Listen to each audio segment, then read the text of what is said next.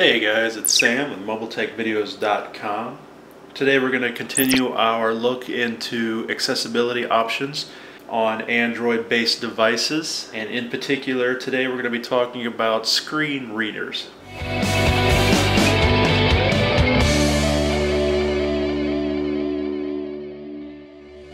Welcome back. Uh, first thing I need to say is I apologize for the way I sound. I have been sick as a dog for the last couple days and I'm starting to get over it, uh, but it's I still got some lingering effects, so we just have to push on through, right?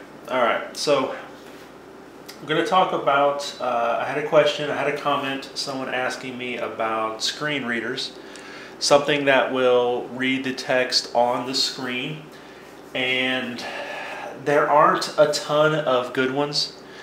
And it seems that the best one that is really out there is the native uh, talkback application. So we'll go into settings.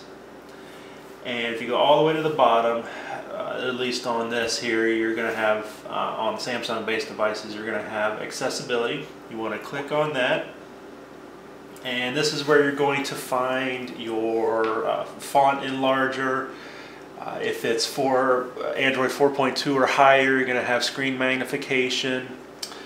Below that, you can turn your colors negative if you want, if that helps. Instead of white text on a black background, it would be black text on a white background.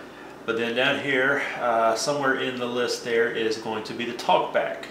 And we're just going to click on that and you have to enable it and you just click OK. Settings. And then now it will announce uh, whatever is on the screen as well as give you some haptic feedback and some uh, sound feedback. Now when you launch this for the first time you'll go through a tutorial and it will tell you how to interact with the screen. Basically anything you touch will Apps. Give an audible Phone. indication of what it is. Contacts. You can also slide around YouTube. Our groceries. Gallery. Our tasker. and it will Double tap S planner. Button 59. Unlock out. Home. Our groceries. Internet. it'll announce whatever your finger lands on here. And if you want to touch to uh, activate something, Apps. You highlight it and then double tap anywhere on the screen. 8 Astra tasks. App Store. 500 PX. Matching booth. Amazon. Amazon.com. So, Apps. Home. Showing item 3 of 5. Now if you're in your text messaging area and you tap on a message, it will read it out loud. Cool. We're leaving Skylar's dance right now heading towards your house. So that's a pretty cool feature. Text message viewer. Cool. We're leaving Skylar's dance right now heading towards your house. Messaging. Home. Another cool thing is if I tap on the email, it will tell me how many I have. Email 31 unread. Now unfortunately, if I go into the email Email. and if I tap on it doesn't read anything. You can tap on something and it'll read it. Date and time. Accessory. Date and time. S Pen. Motion. And like I said, if you want to scroll two fingers,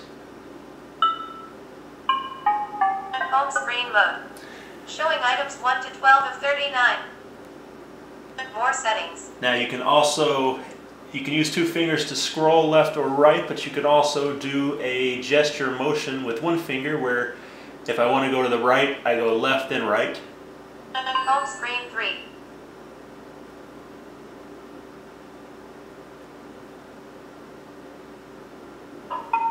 There. Home screen 4. Home screen.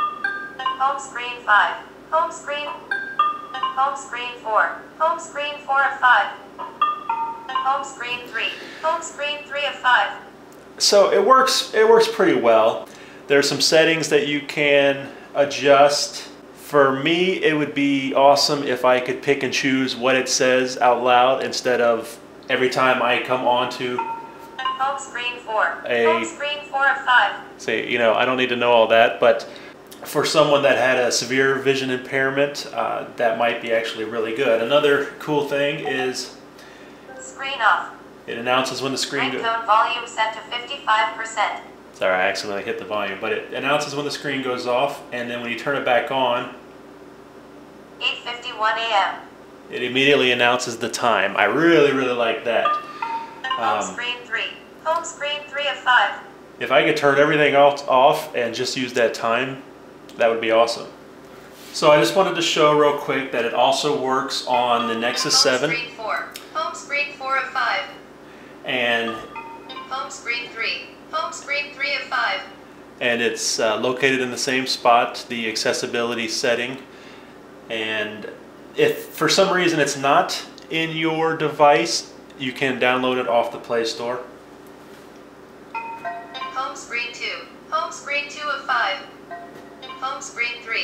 Home screen. I also forgot to mention that uh, if you cover your hand up over the proximity sensor, it will mute the sound. Home screen 2. Home screen 2 of 5. I didn't that time. Home screen 3.